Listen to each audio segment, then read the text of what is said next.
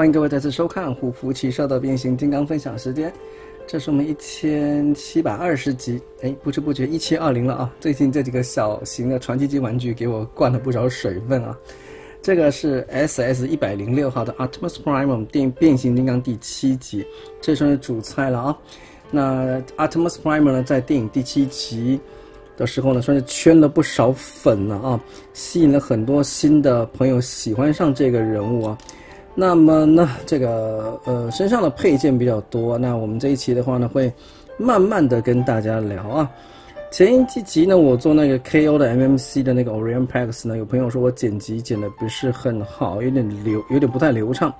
希望我呢能够保持用长镜头的呃方式呢来一次给大家做完节目，这个当然是没有问题了啊。那有有时候是看心情了啊。啊，其实这么说好了，如果那个玩具我越喜欢，可能我就录的时间会越长，我可以跟大家侃侃而谈嘛。那今天这款玩具我就侃侃而谈吧啊，这么快就把自己的立场表现的这么清楚了啊。虽然是作为一款 L 级的玩具，但是呢，呃，网友们普遍的评价是不错，但是体型缩的很小。那有人说，因为它配件很多，其实配件也没有说很多哎啊。那我已经转了很久了，这个是第七集的时候非常重要的一个道具啊。那它无法两侧分开，它就直接是一个完整的一个零件。上面的细节其实很清楚哦，中间的涂装也让它的玩具看起来挺有质感的啊，并非是金属部件啊，但是涂的还不错。那另外有个链条，链条是可以把两双刀的话呢，做一个这个把它链接在一起。那这个武器啊，背在后面其实还挺好看的啊，啊，自带一个像是火炮的感觉。这个刀的话，你可以把它组合起来啊，两手对不对？可以双头刃。那你也可以把它。安装这个东西就会变成一个带链子的一个感觉，但带链子的话，其实，嗯，你可能要稍微自己调整一下。各位就是看几张插图你就知道了，这个链条啊，好，也算是一个不错的道具了啊。然后有朋友跟我说，电影里头它是链条吗？链条是勾着双刀吗？不是，不是流星锤吗？其实我有点忘记了啊。口口声声说第七集很好看，其实演什么好像也快点忘了差不多。另外，它有多一把斧头。我不记得电影里头有斧头哎，但是这个斧头的造型我我喜欢，挺好看的。虽然没有什么涂装啊，很素，但是我感觉吧，就是一个就很像这种原始部落的那种斧头，或者是这种，呃，奇幻文学里头矮人拿的那种斧头的一个尺寸，看上去造型真的好看啊，也挺有重量感的。好，那它握持武器的话呢，可以看到了，它是手掌心有一个虎口。的一个圈，而且它的食食指跟中指是一个关节，然后无名指跟这个这样的嘛，对不对？这个是日式手法，那这是韩式手法，那大家大家懂吗？啊？这是捏寿司嘛，然后这是腌泡菜，对不对？我是我指的是这个意思啊，没有其他的意思啊。那后方的武器的话呢，如果说我们把它以一个星星的形态握姿的时候，那我先讲一下这个腿的变法，我不知道我到底有没有变对啊？因为这个说明书我不知道为什么他们现在说明书都是很喜欢都不给他。大家做一个很完整的展示啊，都喜欢这个避重就轻的做。然后这个腿的话，你往前放的时候，因为它这个缺口啊，直到这里，它到这边就卡住了，所以你必须去自己去调整这个脚掌。脚掌调就是从这个地方去做一个调整啊，调到一个觉得你可以呃完全的负载在地上的一个样子。那拳头你自己转正，头的话呢，后面有一个很大的一个开口处，你往前面放。OK，这样一来的话，就有一个很漂亮的一个星星趴在地上的感觉。然后这个武器的造型刚好是做成是这个是一个孔，所以呢，如果你只看这边会发现它是一个往前面发射的火炮的感觉。那另外这边这样凸出来，感觉就嗯，好吧，也是可以了，这样子的感觉，啊，有背上有炮的一个样子，好吧。那这个武器的话呢，我们就通通都先取下来，来看一个星星的模式了啊。那我刚有提过了，它这个脚的可动呃幅度是很有限的，在这个地方就限制住了。所以的话呢，你就必须调整这个脚掌，来让这个脚的话呢，调整那个你觉得最好看的一个形态。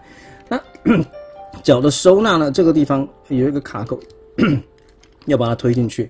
这两片部件按照说明书的变法，应该是往前面推了啊。那我刚刚把它推开，是因为，呃，如果我让它站立的话，这样子过来，他就去卡到。那你可以把它试着把它往后翻啊，anyway，反正这个腿的可动的话，本来大家就不要太指望，因为它就是一个堆叠的一个样子。那手的造型，我我我一开始变的时候，我觉得很奇怪，我没有变错啊。它的这个毛发这个部分还真的是朝内啊，而不是在外啊，这个是真的是嗯，我不是很记得它的有有这么强迫规定是这样子的吗？那这个肩甲的话呢，你翻开你可以看到里头还有一些机械的一个零件的感觉。那我很喜欢它这个肚子啊，这个有一个圆弧的一个形象，就是有一些生物的感觉。那面雕也是挺好看的，眼睛虽然没有很大，但是这两点绿啊，还是蛮生动的，而且头球形关节有点忧郁的这种星星帅哥的感觉。嘴巴是可以张开的，可以张到这么大。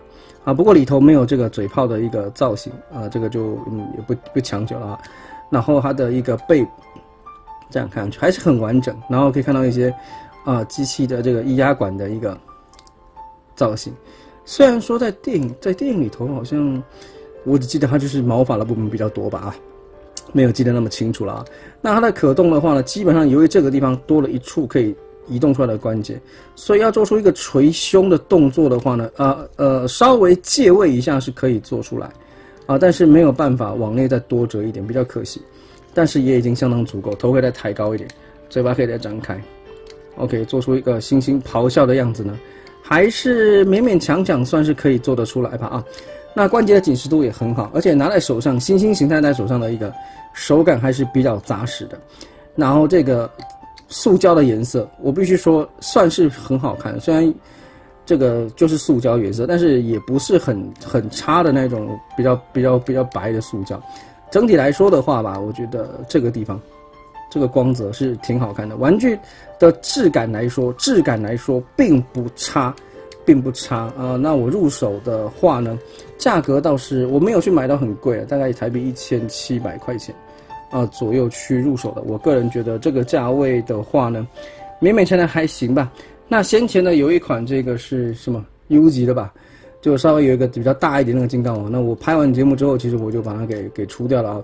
最近实在是嗯，就收不了那么多东西啊。这里提一下，这个地方对吧，有一点消光的黑色啊，后面这里啊，这个光泽真的还是挺好看的啊，不错。这个心灵形态的话呢，我给的分数还是可以比较高的。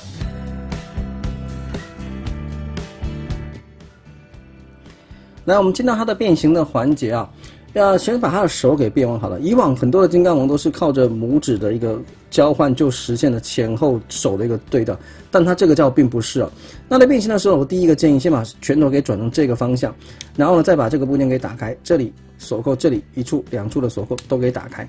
打开之后的话，这个拳头翻这一面翻进去，翻进去的时候呢，这个部件记得翻转这样子过来，然后把拳头握紧塞进去这一片部件。里面部件先盖下来，然后呢，外面这一片部件呢再盖上去。盖上去的时候呢，这里有一个锁扣的一个结合在这边，好，把它给扣上去。这一片部件呢，只是利用这个双动关节这样子下来，把这个缺口给挡住，这样就行了。这样呢，你就会发现这个拳头的话呢，变成是这一侧啊，它前后已经做了一个对调了。另外这里也是一样的，拳头本来是这样子的情况下，在可以折的这个角度下，我们是把它转成这一边，好，然后这个地方松开来，这里也给。松开来，然后把拳头给握紧之后，就可以刚好放进去。然后呢，拳头这个臂甲这个地方旋转一下，这一片先下来，这一片再上去，到这边，这边一个双动关节把它给往下面推下来，到这里。好，然后呢，这个时候的话呢，我们是把这一个啊毛发的这个部分就朝到外侧去了啊。到这边，各位可以看到，这里就是它等一下的人物的正面就在这里了。那我们接下来的话呢，把这个腿的话先稍微的啊腿先变完好了。腿的直接把它拉开就行了，直接把它给整个给拉下来。拉下来之后呢，把膝盖这个凸扣进这里，有一个凹，这边这样子过来，把它给这里也先往后面推好了，然后整个脚掌下来到这边，这个顺势往上推啊，基本上会全部刚好到一个定位，到这边，好，到这里把它给压进去，好，扣上去了啊，到这里。OK，基本上就是把这个腿的话，就是把它给拉直、拉伸了，到这边，这里整个的往上面推上去，到这里，然后脚后跟做一个对调，把星星的腿给收进去，然后把人形的脚掌给推出来，然后重点就是这个膝盖的这个地方，这个凸啊跟凹啊在这个地方要做一个结合，好，都给扣上，然后呢，脚后跟它是有一块的关节的，记得把它给推出来，在这个地方。如果不好推的话呢，就是建议大家就是用用工具啦，就把它给抠，因为这个确实是比较紧，不是很好，不是很好抠。好，脚后跟翻出来，这样一来的话，它的就变成了一个科学怪人。啊，对了，科学怪人那个手真的是龙爪手啊，这个是呃小说的封面就是这么样画的啊，所以那个前几期给大家做的那个科学怪人啊，那个手这样子是设计是没有问题的啊。当时我只我也没有说那个设计怎么样的吧，就是嗯，反正就是也是有致敬的，非常好。这个部件整个推上去之后，我们先把这个身体的前后分开，分开之后，这个就很经典的一个转换了啊，把这个。利用这个地方旋转过去，然后这里要记得，就是说把这个星星的头啊，星星的头是这样子转上去啊，这个球形关节是朝上这样子，这样才能够彻底的把它给收起来。它的背后的变形呢，我们先把星星的肚子这一块挑出来。现在手机啊，就是不知道为什么是不是老了，已经用了两年半，很容易就过热啊。过热的话就真的是没办法了啊。我们把这一片部件呢给翻转到这边，我们需要形成出。这一块凸啊要在外面，它就是把这一块凸的话呢，我们往下面搓下来，然后到这个地方，它有一个好像可以卡进去的一个位置，其实好像没卡也是一样，没没没没没没，哎，是我的错觉吗？好吧，应该是没有没有什么东西可以卡。哎呀，它就是用一些零件什么就把它给整个背包给扣上去了。嗯，反正我的理解就是这样子。那它的变形就算 OK 了啊，这个就是我们这一款。这个 Optimus Prime SS 一百零六号的完整的一个变形过程，只要这个脚后跟哦，你稍微把它往下面这样子按一下，它这个人物的站立的话呢，就会非常的稳固，而且体型也是非常非常的好看。武器的话呢，斧头啊可以握啊，但是我们这里就不展示握斧头了啊，就我们展示一下它的斧头可以扣在侧边啊，这里武器可以全部的搭载。然后呢，这个我们就来示范一下它的这个练刀吧啊。这个练刀的话呢，我的建议吧啊，先把两手的武器给弄好之后，再来把它给接上去。那接的时候就是凸对凹吧，凹对凸吧啊，这个地方扣上去。那这个你可能要，有时候你要旋转一下，这个地方都可以转动。我们自己去转到一个呃合适的一个位置，再把它给扣上。这个实力就是这样啊，所有的凸跟凹要结合的话，都是要有适当的时机点的啊。好。那我们的这个手臂可以稍微的打开一点点。好，这个就是它的一个全武器搭载之后的样子。呃，我觉得还不错啊，就是有也是有一个是算是算得上是有诚意的一个一个配件组合了了啊。那剩下来的这一块，这个呃超能呃那什么空间弹跳的这个钥匙吧啊，你平常的话呢，当然是可以直接握在手上也是没有问题，但是扣的不是很紧，各位指导一下。啊，有这个装置就行了啊。好了，我们来看一下它的头部，就一整个是也是挺好看，绿色的眼睛。OK，然后这个肩部的话呢，三六零度的转动，手臂是没有问题。可动的话就就就就好像有就这个武器就把它解开好了，不然这个两手都拿武器的话就没有办法展示了。好，这个武器，那这个武器链条你平常没事你也可以把它放着，啊，就是作为一个支架都可以。手臂三六零度转动，可惜啊没有齿轮关节啊。然后这个二头肌可以转动，手肘大概九十度，拳头可以转。那这一次的金刚王变形就是我提过，它的拳头是内外真的要互换啊。以往的金刚王都是这拇指这个翻下去就换成另外一只腿，啊换成换成另外一面是平举啊什么，这个关节紧实度都还是相当可以。OK，膝盖的话可以弯大概九十度，内侧也有一些机械的刻画造型。脚后跟的话呢，为人物的站立性提供很好的一个一个支撑支撑点。然后它的身上有一些，就是一些旧化的一个涂装，整个配色就看上去就是还是蛮舒服的啊。那我们来对比一下好了，就是在里头跟它的几个 partner 之间的一个对比。在电影里头的话呢，我们是几乎是看不清楚他们几个成员的一个一字排开的样子。这个是他跟犀牛的一个身高对比啊。我还是提一句话，在电影里头我们真的是看不见的了啊。再来是这个黄豹。